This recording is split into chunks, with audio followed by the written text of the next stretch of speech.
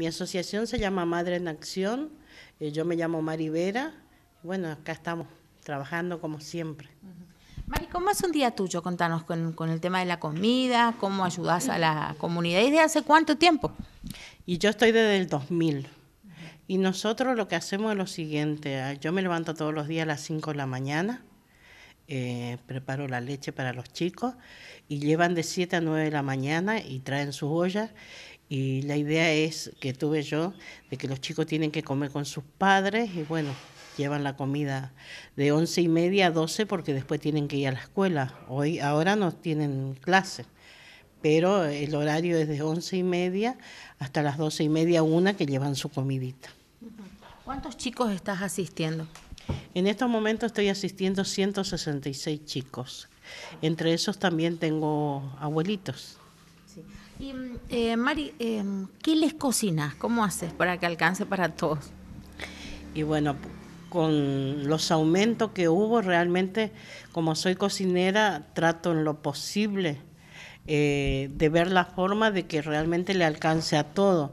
Eh, es triste decirlo, porque hoy por hoy nuestros niños no comen pulpa, tienen que comer hígado, porque el presupuesto que no viene no, no alcanza. Y para tanta cantidad de chicos, yo creo que ustedes lo filmaron, vieron, se le pone un montón, pero cuesta muchísimo, pero lleva sus reacciones como, como corresponde, ¿no? Claro. ¿Qué, te motivó a decir, bueno, yo quiero hacer esto? Porque estamos hablando un montón de tiempo atrás ya que, empezaste y todavía mantenés esto acá en, en zona norte. Y realmente porque yo vengo de familia humilde y es bueno ayudar, de corazón lo hago. Claro. Eh, bueno, no se emociona, ¿no? Cuando habla de, estas cosas.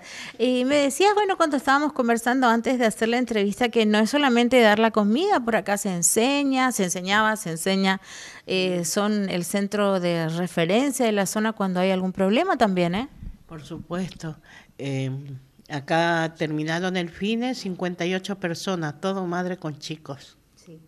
Y tengo chicos que son, perdón, no, no hay problema, por favor, tranquila nomás. Eh, debe ser, eh, yo me, doy cuenta que a uno le toca el corazón porque cuántos chicos han pasado por acá, ¿no? Ya son eh, adolescentes. son adolescentes. y ya son padres. ¿Cómo te voy a decir? Tenemos también chicos que son con capacidades, ¿cómo se dice? Especiales. Especiales que vienen a estudiar acá. Tengo un convenio con el Ministerio de Educación eso es de 2 a 5 de la tarde, que ya ahora va a empezar de vuelta. Y, bueno, se le ayuda a todas las personas que realmente se, se, necesita. Pero...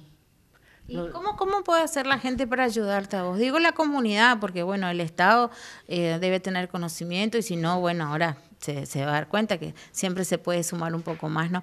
Eh, ¿qué, te, ¿Qué te gustaría en este caso para mejorar lo que están haciendo ya ahora? Yo lo que necesito en estos momentos son sillas, mesas para que sigan estudiando los chicos. Sillas y mesas. Sí.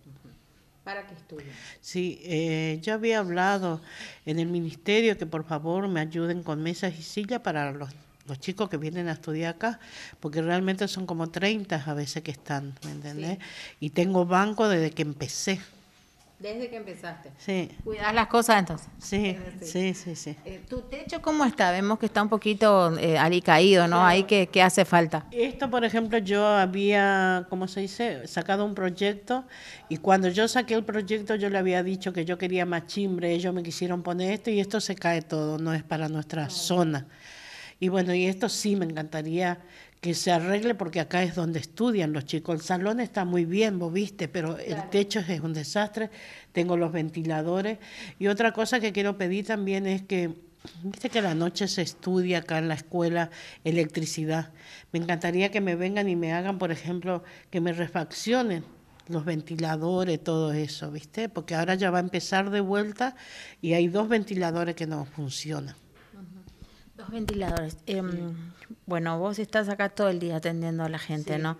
También trabajan con el IAPA, me contaste. Sí, trabajo con el IAPA, eh, con los chicos eh, em, en adicciones, por supuesto, lo que hago es conectarme con las madres, le, le digo a las chicas en qué eh, manzana están y todas esas cosas. Se hizo un trabajo muy lindo en la plaza, todo eso, pero ahí estamos todos. Está la asociación, está la, el colegio, la escuela, la sala, el jardín, la policía, y es un trabajo en conjunto. En conjunto. Sí. Eh, gratifica esto, ¿eh? te duele toda la espalda, pero gratifica el alma. No, cuesta mucho, no es fácil, porque a veces eh, vienen muchas personas con sus problemas y a veces el escucharle ya es importante. Por ahí no lo podemos resolver, por ahí vamos.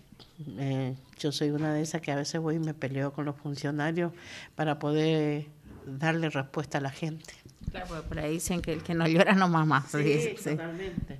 Cuesta mucho, ¿viste? Porque a veces, si vos te vas con un problema, vos sabes que es un problema de la gente. Y entonces a veces te tienen muchas horas esperando.